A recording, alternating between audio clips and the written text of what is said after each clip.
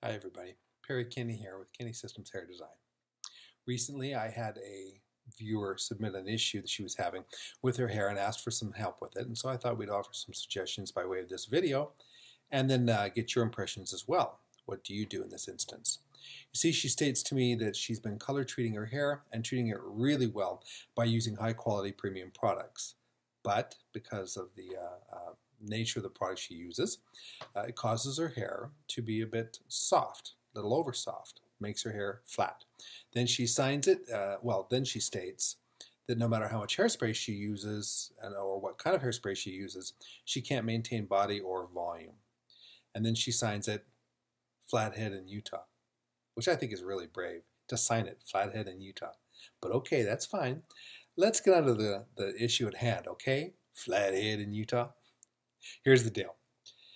When you are taking and you are using hairspray as both a finished product and a support product, what you're doing is really kind of counterintuitive to the way in which the product is designed.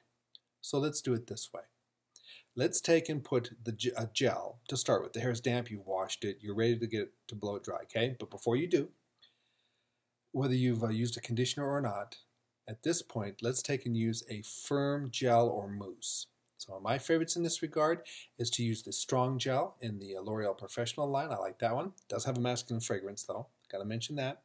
Versa-Gel in the Retro line. I like that one. That's a good one. Uh, let's see that mousse over there. What is that? Surface mousse. Uh, uh no, Surface is the name of the product. Uh, Awaken mousse is the name of the mousse. That's a really good one as well. You could use it. Any one of those. I can promise you this about those kinds, that, those types of products, that quality products, is they don't flake and they do put shine in the hair. So they're really excellent. So perhaps you put them all over your head, or perhaps you put them just at the scalp or whatever you want uh, on the sides of the scalp, uh, not on the ends. It's, it's kind of up to you. But then what you would do is afterwards is put your leave-in conditioner on the cold shaft and ends and use less of it. Maybe you just use it at the last, say your hair is really long, but it's only the last couple of inches that are very, uh, very uh, compromised. Well, then put it there. But don't put it necessarily everywhere. You don't have to, so don't. Now what you've done is you've introduced a polymer to the scalp and to the areas where you want body and volume. A polymer that is going to interact, or interact I should say, yes, interact, interact with the hairspray then when you finish up. So you blow dry it in. Maybe you curl it, maybe you don't. It's up to you. Maybe you use a flat iron, maybe you don't. It's up to you. But in the final analysis, you're now going to use your hairspray. And when you do, don't you don't have to spray it, you know, with constant movement and motion, but rather what you can do is just use spurts of hairspray, just short, you know, short little uh, sprays of it, because you don't need that much uh, hairspray now you have a support product in the hair.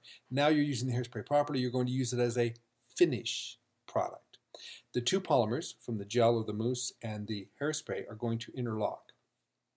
I mentioned the ones I like for support products. You know what I like for hairspray? I like the uh, Kenra Volume Spray. Uh, that's a really good one. In fact, it's won it's won the uh, Stylist Choice, Choice Award just several times. I really like that particular hairspray for this kind of work.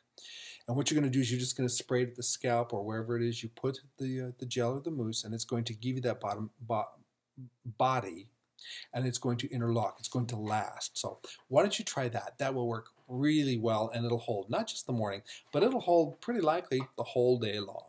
Give that a try and see what you think.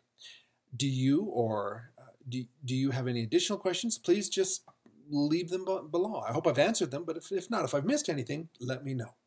Uh, if you're watching this video and there's a way, a different way in which you do this kind of an approach, why don't you go ahead and mention it too? You know, get a couple of different opinions on how this can work. At any rate, I hope you have a good day, and I thank you for writing in and encourage any of you. If you have any questions, go ahead and submit them, and I want to thank you for your time in the meantime. Oh, by the way, if you're seeing this on YouTube, what do they thumbs up? I guess that's what they do, or they thumbs down. Let me know what you think. If you're seeing it on Facebook or anything like that, leave a comment. Let us know what you like. I think you can like it on Facebook or can you dislike? Well, anyway, whatever it is, whatever you think, let us know. Appreciate your time. You take care, and until next time, bye for now.